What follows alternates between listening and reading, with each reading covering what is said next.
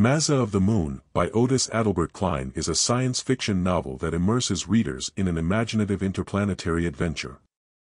The novel follows the protagonist, Ted Dustin, an engineer and inventor, who embarks on a mission to establish contact with the moon. His efforts lead to the discovery of an advanced lunar civilization and an ensuing conflict that tests his ingenuity and courage. The narrative begins with Ted Dustin developing a ray gun capable of reaching the moon. His ambition to communicate with any potential lunar inhabitants sets the stage for an exploration of human curiosity and the desire for knowledge. Ted's character embodies the quintessential qualities of a hero in early science fiction, intelligence, bravery, and a pioneering spirit. These attributes make him an ideal protagonist for the novel's adventure and exploration themes. As Ted successfully makes contact with the moon, the plot thickens with the revelation of a sophisticated lunar society. The moon inhabitants, known as the Maza, are depicted as technologically advanced and culturally rich. Kline's portrayal of the Maza society serves as a reflection on human civilization, offering a commentary on technological progress and its implications. The Maza's technology and way of life highlight the potential future of humanity if advancements are pursued with both innovation and ethical considerations. Conflict arises when Ted's peaceful intentions are misunderstood by the Maza.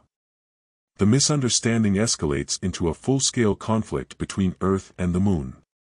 This central conflict drives the narrative forward, providing suspense and tension. Kline uses this interplanetary war to explore themes of misunderstanding, prejudice, and the consequences of miscommunication. The clash between the two civilizations serves as a metaphor for human conflicts, emphasizing the importance of diplomacy and mutual understanding. The novel's setting on the moon allows Kline to indulge in vivid and imaginative descriptions. The lunar landscape is depicted with a sense of wonder and otherworldliness, enhancing the novel's escapist appeal. Kline's attention to detail in describing the moon's environment and the Maza's advanced technology adds depth to the story, making the fictional world feel tangible and immersive. Maza of the Moon also delves into the theme of personal growth and heroism. Ted's journey is not just a physical adventure but also a path of self-discovery.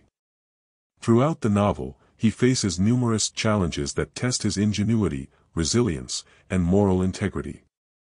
Ted's evolution from an ambitious inventor to a heroic figure underscores the novel's emphasis on the transformative power of adventure and adversity.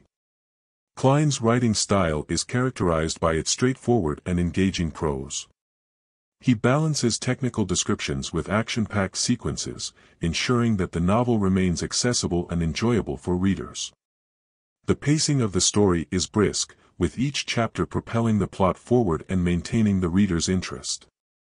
While Maza of the Moon reflects the optimistic and adventurous spirit of early science fiction, it also addresses underlying concerns about the impact of technological advancements. The novel's depiction of the Maza society's advanced technology serves as both a marvel and a cautionary tale. Kline suggests that technological progress must be tempered with ethical considerations to avoid unintended consequences.